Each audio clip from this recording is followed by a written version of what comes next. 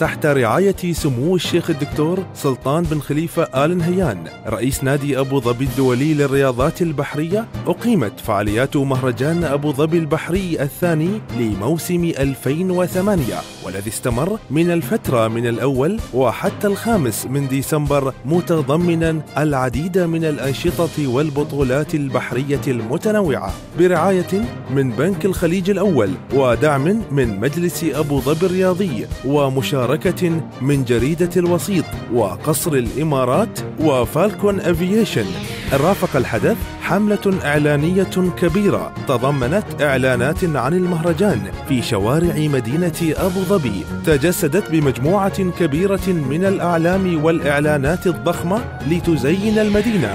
للإعلان عن بدء الاستعدادات لمهرجان أبو ظبي البحري أقيم مؤتمر صحفي في قصر الإمارات في الثالث والعشرين من شهر نوفمبر. شارك فيه أعضاء من مجلس إدارة نادي أبو ظبي الدولي للرياضات البحرية وممثلي الرعاة من بنك الخليج الأول ومجلس أبو ظبي الرياضي إضافة إلى مشاركة اللاعبين. ثاني القمزي وأحمد الهاملي من فريق أبو ظبي لزوارق الفورمولا في هذا المؤتمر. انطلقت مسيرة احتفالية ضخمة لقوارب الفورمولا واحد للإعلان عن افتتاح المهرجان في السابع والعشرين من نوفمبر لعام 2008 المسيرة التي شارك فيها فريق أبو ظبي لزوارق الفورمولا واحد وأعضاء من النادي البحري وتقدمتها فرق موسيقية شعبية. أبدعت في جعل هذه الاحتفالية لوحة تشكيلية رائعة تجوب كورنيش أبو ظبي ومنطقة كاسر الأمواج واختتمت احتفالات الافتتاح بإطلاق الألعاب النارية وقص الشريط لإعلان بداية المهرجان إضافة إلى عروض غنائية راقصة على المسرح المقام على الكاسر والذي تم بناؤه خصيصا لهذا الحدث. جاء أول أيام المهرجان ليشهد انطلاقة بطولة الإمارات للكاياك والتي شارك من خلالها ثمانية زوارق من أفضل المتسابقين من مختلف مدارس الكاياك في الدولة حيث تم تكريم الفائزين في السباق على المسرح المقام في منطقة الحدث. وكان موعدنا من خلال اليوم الثاني مع العديد من الأنشطة والتي جاء في مقدمتها منافسات الطالب الحديدي والتي تم تقسيمها إلى عدد من المراحل.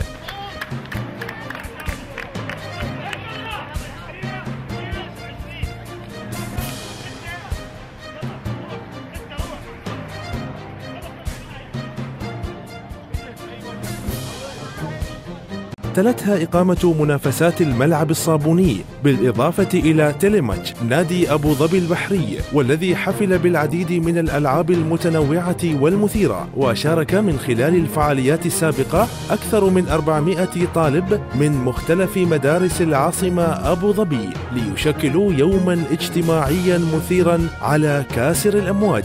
كما تضمن اليوم الثاني أيضا انطلاقة منافسات بطولة الإمارات المفتوحة للسباحة والتي شارك خلالها أكثر من سبعين سباحا رسموا لوحة جميلة على مياه الكاسر من خلال عدد مختلف من الفئات.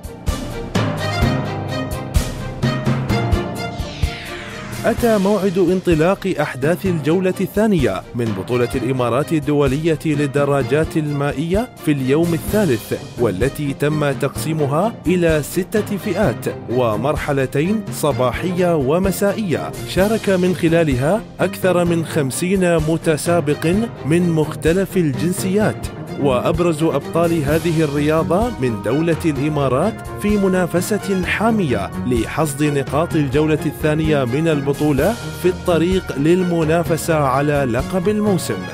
وسبق البطولة مؤتمر صحفي ثاني عقد في مقر نادي أبو ظبي الدولي للرياضات البحرية ليعلن عن الاستعداد لبطولة العالم لزوارق الفورمولا واحد في اليومين التاليين.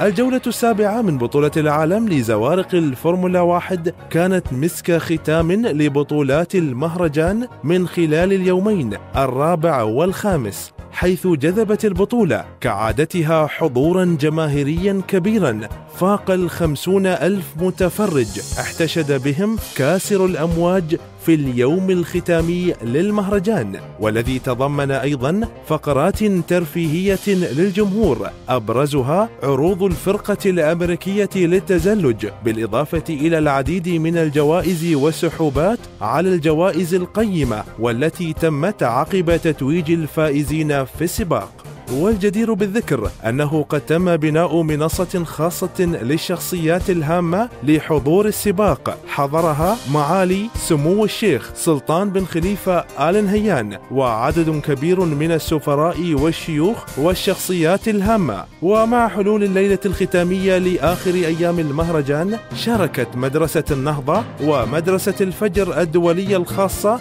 بعدد من الفقرات الترفيهية الرائعة على المسرح. أمتعت الجمهور وفي المساء امتزج دوي الألعاب النارية بصوت الفنانة نانسي عجرم والتي أحيت ليلة لا تنسى على كاسر الأمواج.